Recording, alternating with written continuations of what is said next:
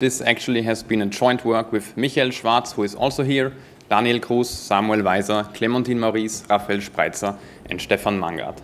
So let's dive right in. So keystroke timing attacks infer typed words, passphrases, or can create user fingerprints. And in this work, we present two new attacks that allow us to recover keystroke timings.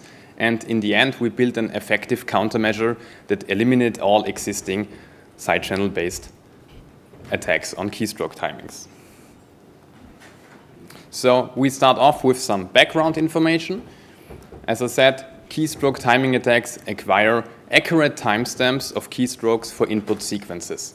And they can depend on syllables, bigrams, words, the keyboard layout that is used, and also on the typing experience of the user actually typing. And these attacks exploit the timing characteristics to learn information about the user or the entered text. So they can be used to, infer, to infer typed sequences and also to recover passphrases. And in the past, we've seen that there are many ways to obtain those keystroke timings. For instance, network latency, network packet statistics, CPU usage, Wi-Fi signals, also the proc interrupts interface, JavaScript sensor API, and also cache attacks have been used to obtain the exact moments of time when the user pressed the actual key on the keyboard. As we want to protect against many of them, we also need a little introduction in cache side channel attacks. And they allow us to monitor cache accesses by a victim process. And by the capability of measuring the access time on how long it takes to load an address, one can infer if the address has been loaded into the cache or not. And using specific instructions, an attacker can also remove addresses from the cache. And there are two major attacks called the flush and reload attack, which works on shared memory, for instance, a shared library that is shared among all processes on a computer that works on the user input. And so if the attacker monitors a certain address that is used when an input is entered, he can monitor whenever the user has typed something. While he cannot observe what he is actually typing, he can infer the keystroke timings. Another attack, which does not rely on shared memory, is the prime and probe attack, but it's much more noisy. But you can mount it if there is no shared memory available. If we take a look at what is really happening on the computer whenever you type a button, first you have an interrupt, which gets sent to a CPU core, then there is some code executed in the operating system, in the driver. Then the pre-processed input is sent forward to the user space library, which will then pin out which window the key should be sent to, and so on. So there are multiple possibilities for an attacker to observe the input, which will bring us to our first new attack, which we call interrupt timing attacks. And the basic idea is that we continuously acquire a high resolution timestamp and just monitor the differences between subsequent timestamps. And this attack just requires unprivileged code execution and an accurate timing source. For instance, the RDTSC instruction on x86, which gives us the cycle counter. And if you would implement that attack, it's quite easy. You just have a loop and look at how much time has passed since the last measurement. And you will see that significant differences will occur when the process has been interrupted. And the more time the operating system takes to consume and handle the input, the higher the timing differences are, as we can see in this plot. So the user typed here the password, password, and we see distinct spikes for every character and the exact moment of time when he pressed the character. So we can use this to obtain the exact moments of time.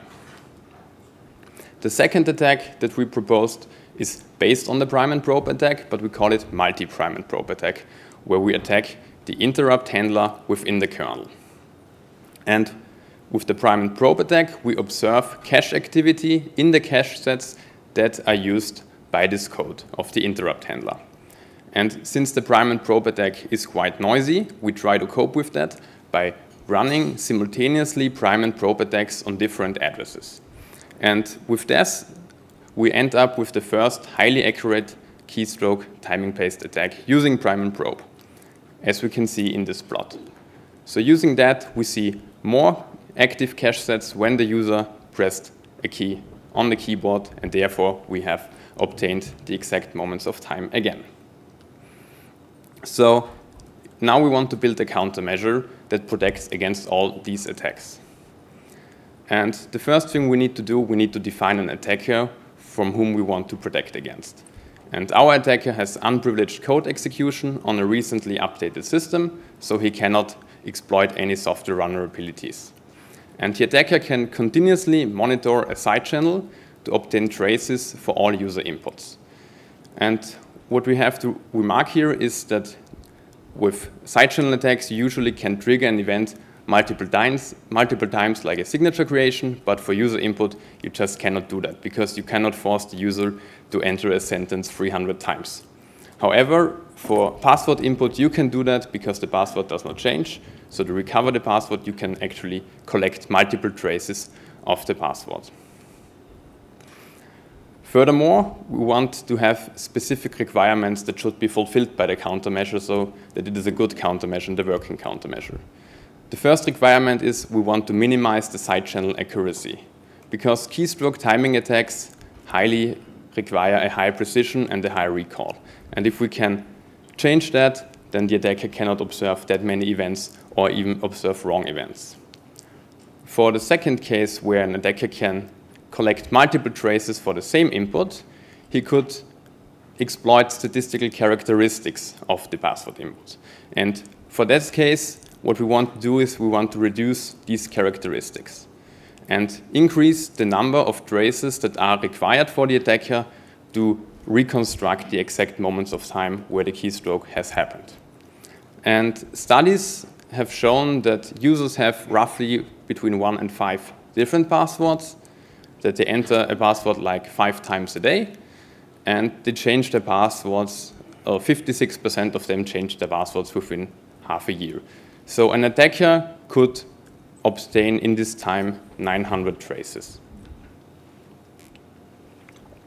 The last thing that is important for the countermeasure is that it should not open up new side channels if it's implemented. So the implementation needs to be secure as well. And if all of these requirements are met, then the side channel attack in presence of the countermeasure is not practical anymore.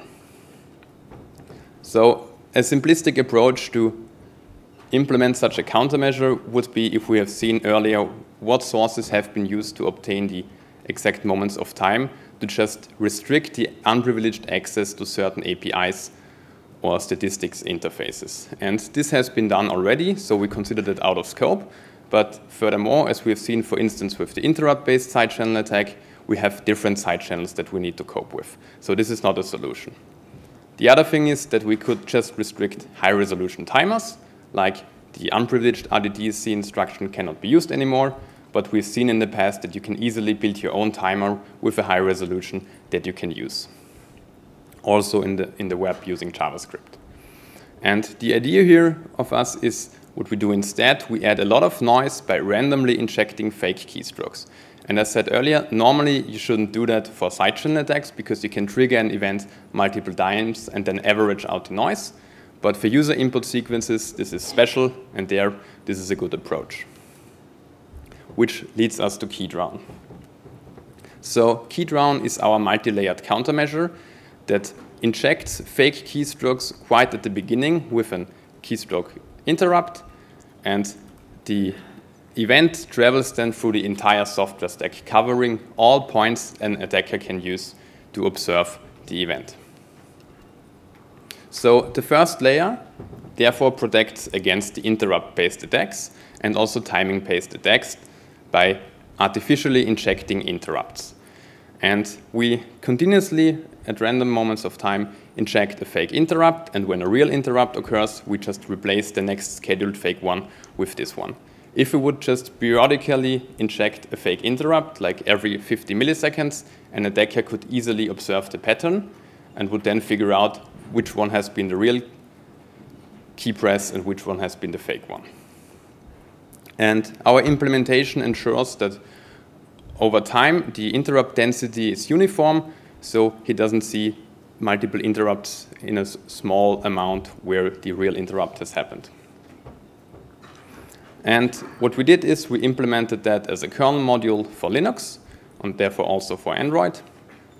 And the kernel module handles hardware interrupts from the input device and also from a timer. And if it observes a timer interrupt, it will inject a new keyboard interrupt. And on the other hand, if it observes a real keyboard interrupt, it will inject a non-periodic one-shot timer with a random delay to then inject the next fake keystroke. And so for real and fake keystrokes, the same interrupts occur. For the second layer, where we want to protect the user space libraries against flush and reload or prime and probe attacks. And when we inject a keystroke, the real and the injected keys, keystroke should have the same code paths and also the same data accesses in the library. But we inject valid keystrokes, which are not used normally, like a media button event. And therefore, it's possible that it has slightly different code paths through the library. And what we do here is we duplicate this key, randomize the value to a normal value, like a character, and send it to a hidden window. So both events travel through the user space library simultaneously, covering all the code paths that an attacker could use to monitor if it has been a fake or real keystroke. Last, we also need to protect the buffer itself where the password is stored, because an attacker could, could mount a prime and probe attack on that buffer, and therefore what we do is we just generate the same cache activity on the cache lines that are used by the buffer, independently if we receive a real or fake keystroke. And this mitigates prime and probe attacks on the buffer. For the evaluation of our countermeasure, we use the uniform key injection interval between 0 and 20 milliseconds, and any real key will replace a fake scheduled key injection. So the distribution of the real keystrokes in these 20 milliseconds will be uniform over time. And also the interrupt density function will be uniform with 100 events per second. In order to compare the results on how effective the side channels are when the countermeasure is active and when it's not active, we compare the results using the F-score against uh, always one oracle and the random oracle so that we see using the side channel you are not better than just randomly guessing if it has been a real or fake keystroke. And if the side channel with the countermeasure active yields an F-score with the same value of 0.15 or below, we know that an attacker cannot observe any additional information by using the side channel.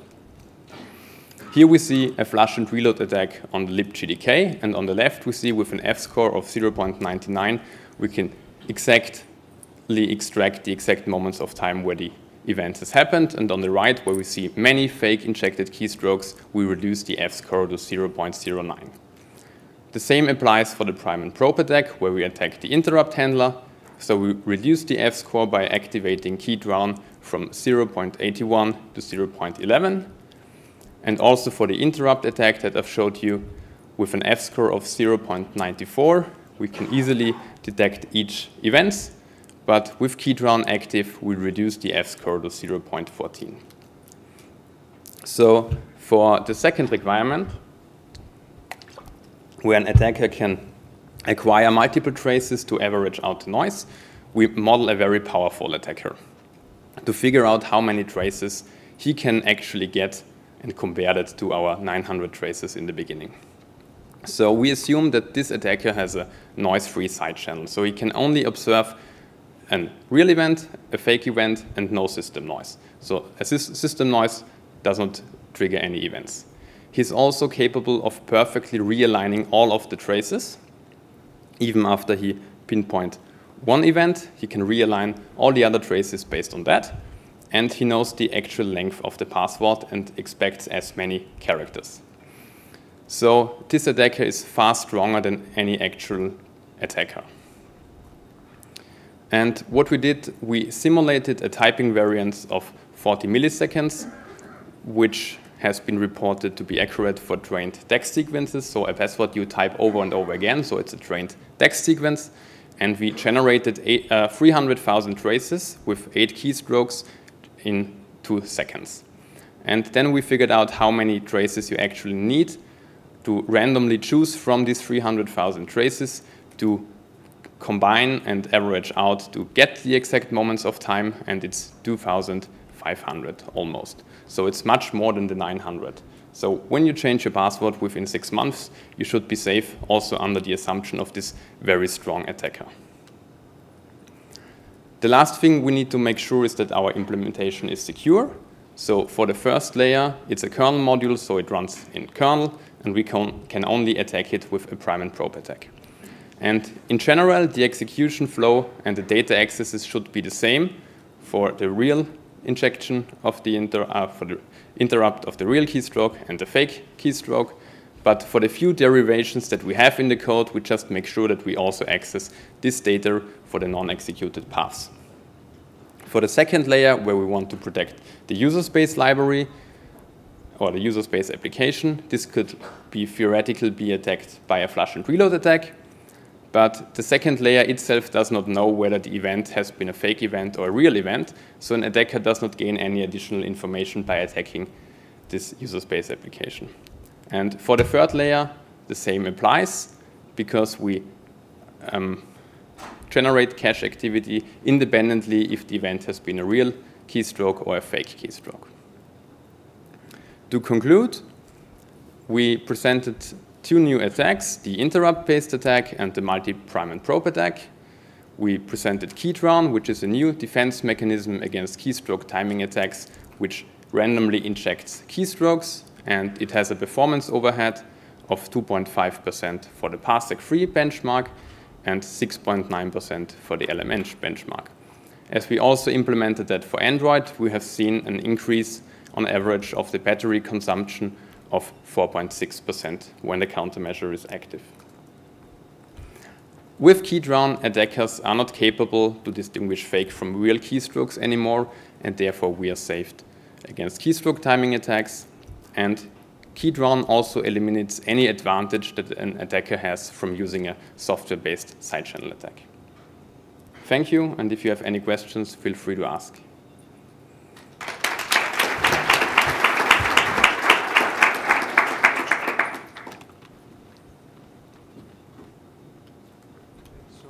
We, we have a, a, room for a few questions.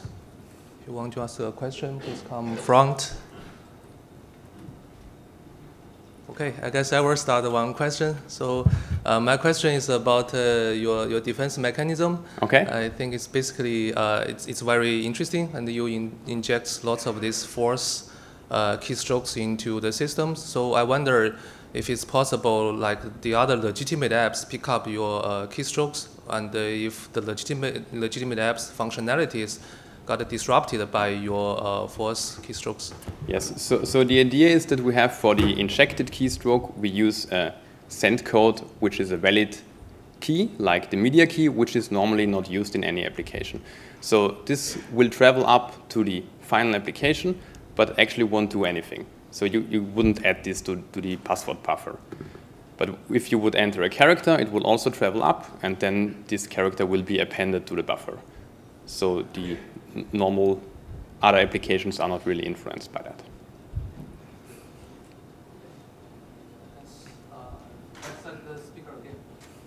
Thank you.